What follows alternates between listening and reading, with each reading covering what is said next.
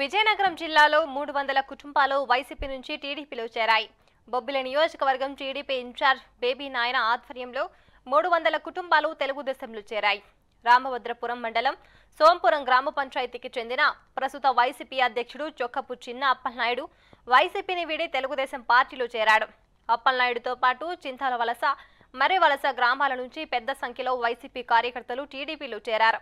వీరందరికీ బొబ్బిలికోటలో బేబీ నాయన తెలుగుదేశం పార్టీ కండువా కప్పి పార్టీలోకి ఆహ్వానించారు.